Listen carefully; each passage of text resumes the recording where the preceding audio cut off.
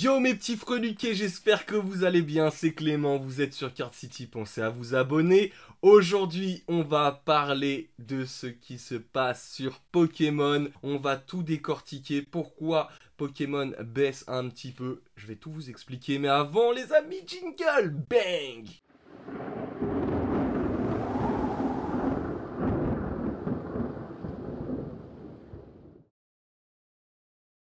Et on se retrouve les loulous pour parler Pokémon. Aujourd'hui, full Pokémon. Pourquoi beaucoup de youtubeurs marquent et, communiquent sur le fait que Pokémon est en baisse? Qu'est-ce qui se passe sur Pokémon? Alors déjà, premier point, on va parler Voct. Les amis, vous connaissez tous cette application de vente aux enchères. Attention, hein, je crache vraiment sur personne. Voct, c'est une super application.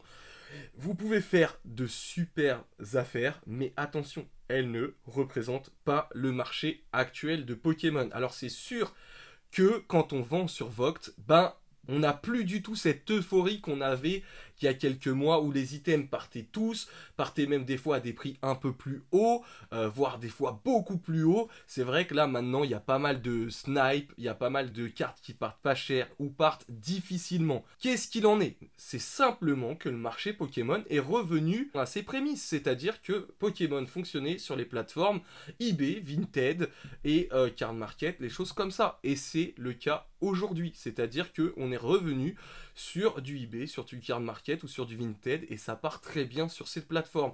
Donc il y a beaucoup de gens qui pensent que ouais voilà, euh, le box break ça, ça marche moins bien, les displays se vendent un peu moins bien, les cartes euh, de collection se vendent un peu moins bien, mais c'est vrai qu'ils prennent pour référence Voct, qui est une super application, mais qui est en train de se développer, qui est en train d'être un peu le Vinted géant des enchères, c'est-à-dire que maintenant ils font euh, des pierres, ils font des, des, fringues, ils font, des, ils font plein plein de choses, des pop. Donc c'est vrai que c'est beaucoup plus large et c'est beaucoup moins axé sur le TCG. Et donc il y a beaucoup de gens, de collectionneurs en tout cas, qui ont délaissé cette application et qui ont repris leurs bonnes vieilles habitudes d'achat et de revente, tout simplement. Ensuite, on va pas se mentir, en France, bien évidemment, il y a une petite baisse, un ajustement, ce qui est tout à fait normal. Mais quand on regarde, les amis, le marché japonais, c'est complètement dingue, les gars. Au Japon, au Japon, le marché n'a jamais été aussi haut. Donc forcément, il y aura une répercussion. Vous savez, la mode, c'est cyclique. C'est-à-dire que euh, c'est comme les converses ou n'importe quoi, je l'expliquais, euh, il y a des choses qui un jour sont à la mode, le lendemain ne le sont plus, et ça revient. Et Pokémon, c'est exactement la même chose. Donc ne vous inquiétez pas, enfin en tout cas nous, on s'inquiète pas du tout par rapport au chiffre d'affaires, aux ventes ou les choses comme ça. Pokémon a de très très très beaux jours devant lui. Ensuite, forcément, pourquoi en ce moment cette petite baisse? Bah, Pokémon Company, mauvaise gestion. Mauvaise gestion en France, en Europe, les amis, on va pas se mentir. Quand une série, elle sort des mois en avance au Japon, que toutes les cartes ont été leak, que la série a un mois de retard en France, l'envie, elle est plus là. Surtout qu'en plus, des ETB qui sont buggés, les amis, où on trouve 10 gold dans les ETB, euh, que le prix donc des cartes qui sont censées être les plus chères euh, dégringole au prix de 50 euros euh, voire 40 euros sur certaines gold, bah on a beau dire ce qu'on veut, il y a certaines personnes qui vont dire ah c'est génial, les cartes sont accessibles et sont pas trop chères, mais la globalité, l'essence même du TCG et du TCG de collection comme je l'ai expliqué, c'est que il y ait ce côté de rareté, c'est que pendant X temps on n'est rien, on dépense tout notre salaire, malheureusement on n'est rien, on est un peu dégoûté, mais le jour où ça tombe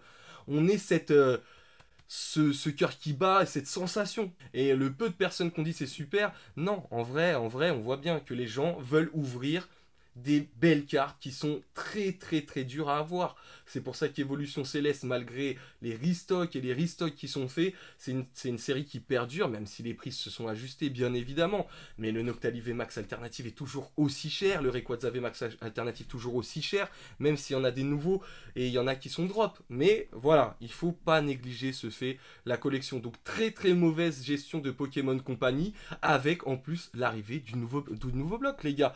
Euh, Écarlate et Violet, nouveau bloc qui arrive, ça a toujours été boudé. Depuis Noir et Blanc, XY, c'est la même chose. Ça a été boudé au départ et regardez après. Et là, on a beau dire ce qu'on veut, mais moi, après, ça c'est à titre personnel, je sens bien, les Miraidon, Coraidon, ils commencent à être très appréciés et les séries commencent à être de plus en plus appréciées. Donc, c'est le temps, l'ajustement, que les gens se fassent aux nouveaux Pokémon, euh, aux nouvelles illustrations, au fait que euh, certaines séries soient un petit peu moins fournies. Mais regardez au Japon, c'est très très dur à trouver, les displays sont très très durs à trouver. Donc voilà, petit à petit, on y arrive et ça va remonter vraiment tranquillement. Ensuite, il y a encore deux points à aborder. Il faut pas se mentir, le climat économique est dégueulasse. Il est dégueulasse et ça, on le ressent, que ce soit pour nous, pour plein de gens, pour plein de clients qui sont même devenus des amis, ça devient ça devient compliqué, les gars, ça devient compliqué, les factures sont lourdes, euh, l'activité, les prix euh, et les salaires augmentent pas. Je suis pas là pour faire de la politique, les amis, mais euh, effectivement, effectivement, les gars, on va pas se mentir, le pouvoir d'achat est en baisse totale, surtout en, enfin, en France particulièrement. Ça aide pas, ça favorise vraiment pas. Ça favorise vraiment pas, donc les gens font des choix un peu plus raisonnés. ils ont moins de budget pour, à allouer dans certains TCG, donc ils privilégient certains TCG, et on en viendra juste après. Et, voilà, les temps sont beaucoup plus difficiles c'est euh, voilà le climat économique est, pas très beau et à force de nous rabâcher entre les guerres, les soucis, les licenciements économiques, la retraite et tout ça, bah en plus du climat économique et du pouvoir d'achat qui baisse évidemment avec les courses et tout ça, l'électricité, il y a aussi ce côté psychologique où les gens se disent ah, je vais peut-être un peu épargner, faire un peu plus attention à mon argent, ce qui est tout à fait légitime et logique. J'espère vraiment qu'on reviendra à une, euh, une, stabilité économique. Vraiment, ça ferait du bien à tout le monde. Hein, parce que si moi, ma concurrence, elle marche, ça veut dire que moi, je marche. Et ça, dans toutes les activités. Vous voyez, euh, là, ça donne même euh, des petites déviances sur certaines personnes qui, commencent un peu même à jalouser euh, autrui, qui commence à être un peu aigri envers autrui, et ça c'est pas bon les amis, c'est vraiment pas bon. Euh, voilà, on perd cette, synergie, cette, cette amitié entre les gens et tout ça, et ça arrive, et je le vois, je le vois beaucoup. Il y a beaucoup de gens qui, qui, se transforme un petit peu, on va pas se mentir. En tout cas, voilà, ça c'est après je rentre pas dans la politique, mais voilà, tout le monde est au fait, hein, on allume les infos. Moi personnellement, ma nouvelle euh, résolution, c'est je ne regarde plus les infos. À la limite de midi 13h, entre midi et 13h, mais le soir, je regarde plus les infos, les amis, je me renseigne une fois par semaine pour voir un peu ce qui se passe dans l'actualité. Mais euh, voilà, psychologiquement, les gars, c'est assez dur de, de, voilà, de voir des mauvaises nouvelles toute la journée. Donc, je me détache un petit peu de ça et je reste focus avec euh, notre communauté, avec euh, les amis qui sont là depuis le début et avec les nouveaux entrants aussi qui, sont là pour partager, rigoler, sourire autour du TCG. Et le dernier point, les amis, pour vous montrer que le TCG n'est clairement pas mort, c'est que ben l'arrivée de plein de TCG, de multitudes de TCG, je parle de Fab, je parle de Naruto, je parle de One Piece, je parle de Lorcana, euh, des retours de Wizard of Mickey, des retours de Seigneur des Anneaux, enfin toutes ces choses-là, les gars. C'est pas qu'en fait, il y a moins de monde. Justement, du monde, il y en a encore plus. Mais c'est que, eh ben, il y a certaines personnes qui se disent Ah, bah, un Pokémon, voilà, j'ai fait un peu le tour. Bah, je vais voir un petit peu ce qui se passe sur One Piece. Et puis, euh, et je vais acheter un peu moins de Pokémon. Ou alors, je vais voir un peu ce qu'il y a sur Naruto. Ou alors, euh, voilà, ou alors je vais acheter du japonais vous voyez ce que je veux dire? C'est qu'en fait, la, montée du TCG est énorme, les gens sont de plus en plus nombreux sur le TCG, mais par contre, ben, vu qu'il y a plus de TCG, ben, les gens papillonnent un peu plus à droite, à gauche, ce qui est tout à fait normal. Donc forcément, Pokémon euh, perd un petit peu, Magic remonte avec ce qui sort, les gars, Seigneur des Anneaux, mais c'est voilà, voilà, si des displays collector, les amis, à 400 euros se vendent aussi bien, c'est que voilà, c'est qu'il y a quand même des gros gros collectionneurs, croyez-moi.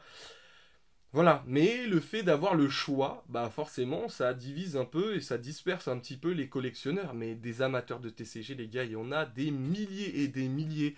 Et d'ailleurs, j'aimerais vraiment que Pokémon Company ou que euh, même euh, One Piece ou des choses comme ça s'intéressent un peu plus à l'Europe, un peu plus à la France, parce qu'on est une grosse communauté de passionnés. Et c'est bien dommage que qu'on soit toujours un peu mis pour compte, mal organisé, mal fait. À chaque fois, on a des plannings qui sont pas respectés au niveau des sorties, des choses comme ça. Pour nous vendeurs, c'est un peu compliqué. Je vais pas vous mentir, euh, en ce moment, c'est un petit peu délicat de tout gérer, mais écoutez, c'est le jeu, ça fait partie de notre métier et j'adore mon métier. En tout cas, voilà, c'était Clément. N'hésitez pas dans l'espace des commentaires à nous dire ce que vous en pensez, le pourquoi du comment, de vos analyses à vous. On serait super curieux de savoir ça et puis ça renseigne toute la communauté. Pensez à vous abonner, les gars aussi. Et on se retrouve très vite pour des nouvelles aventures. C'était Clément. Big